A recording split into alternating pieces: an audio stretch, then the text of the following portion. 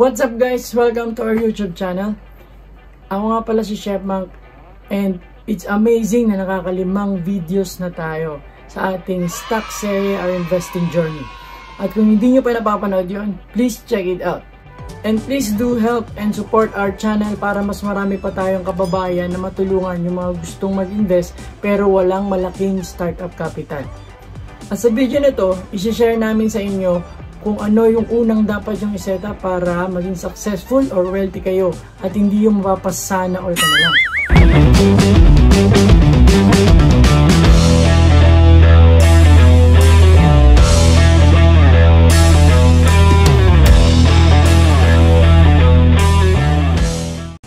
By the way guys, alam nyo ba na ang wealth ay hindi nasusukat sa amount ng pera na nasa bank account nyo? Ito ay nasusukat base sa time.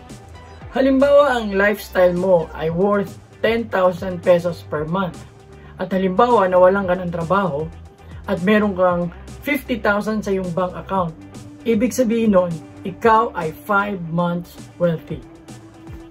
In short, kaya mo pa rin mabuhay in your current lifestyle na hindi nagtatrabaho in 5 months. That's how wealthy you are. Sa totoo lang guys, upon making this video, we are still in the process sa pag-build ng bagay na ito. Kasi hindi naman ito natututunan overnight. Dahil kung ganon, marami na sanang mayaman ngayon. At ito nga yung mindsetting. Dapat malinaw pa sa tubig kung ano ang gusto nyong ma-achieve sa future nyo. Kung kailangan nyo itong isulat at idikit sa kwarto nyo, gawin nyo.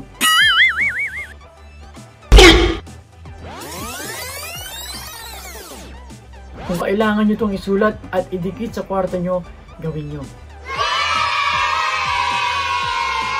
At dahil nung last episode, ako yung tinanong ni Myojo gamit yung mga tanong nyo, ako naman ang magtatanong sa inyo ngayon.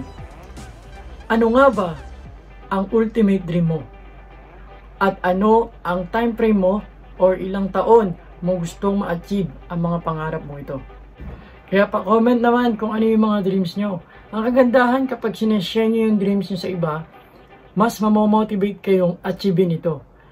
Kagaya ko, I'm very open sa aking future dreams na makapagretiro ng maaga at ma-enjoy yung buhay na pinagkaloob sa akin ng Diyos at ma-share din ito sa iba.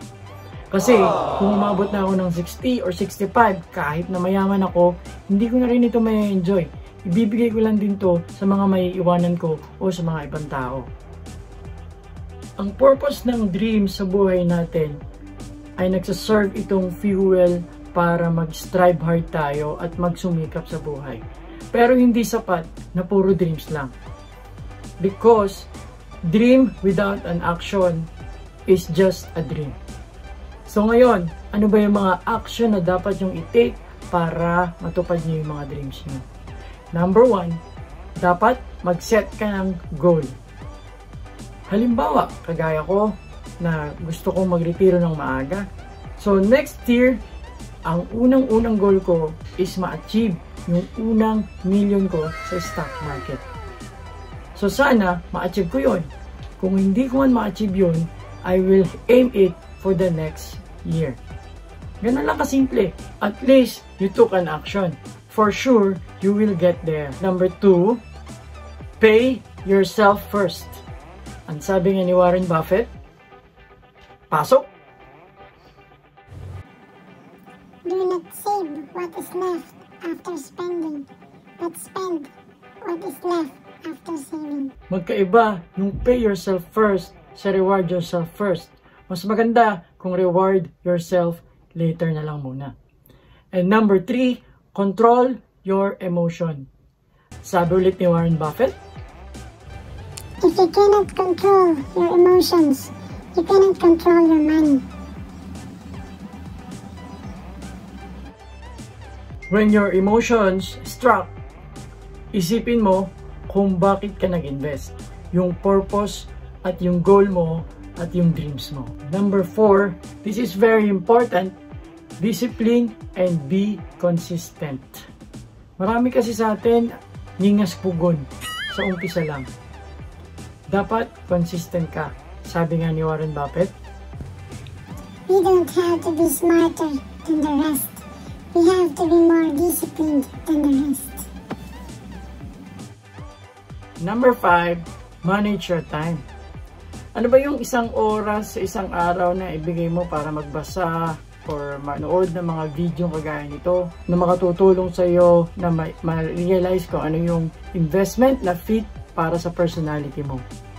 And alam nyo ba guys na ang time ay isa sa pinaka-importante sa investment. Once you miss it, hindi hindi nyo na ito mababalikan. Number 6, you have to find a mentor because you cannot do it alone. Kailangan natin ng mga mentors na mag-guide sa atin para sa investing journey natin. Gaya ko, ang dami kong sinusunod na mentors. But you can also watch our video at kung may mga tanong kayo, pwede namin kayong i-guide kung sinong mentor yung bagay para sa inyo. Based on our experience, gaya ng kung gusto mo magpapayat, Siyempre, hahanap ka ng fitness instructor na mag-guide sa'yo paano pumayat. Ganon din sa investing. Hahanap tayo ng mentor na mag-guide sa atin paano mag-invest ng tama. Number 7, hang out with friends na mayroong same goal as yours. As the saying goes, Show me who your friends, and I'll tell you who you are. But don't get me wrong guys, still hang out with your old friends. But syempre, hang out more dun sa mga makaka-influence sa'yo na ma-achieve yung goals mo. And mali mo, yung mga old friends mo, ma-influence mo din. Di ba? And last but not the least, isa sa pinaka-importante din to, this is an action without taking an action. This is patience. After mo magawa yung mga research mo, nakapag-invest ka na, all you have to do is to wait. And let your money grow, even when you are sleeping. At bago natin tapusin tong video na to, let me share with you another word of wisdom mula sa aking lolo na talagang tumatak sa puso at isip ko. Ang sabi niya, ganito.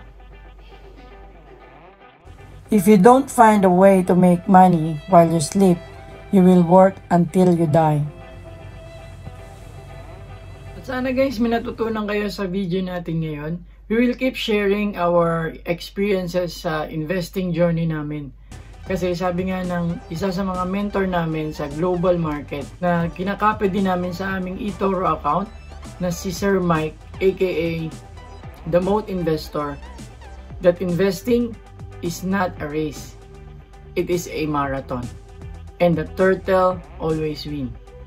Pero syempre, don't expect na ang daan papunta sa pangarap mo is straight. Expect na may zigzag dyan o yung tinatawag nating struggle at obstacle.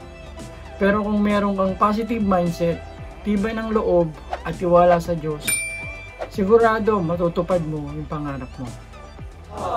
At kung nagustuhan nyo yung video na to, please don't forget to hit the like button at pakishare na din. At kung may mga tanong pa kayo, put your comment below. And don't forget to subscribe and hit the notification bell para updated kayo sa aming susunod na episode sa aming stock series Our Investing Journey because we are in this together. Thank you for watching. See you in our next video.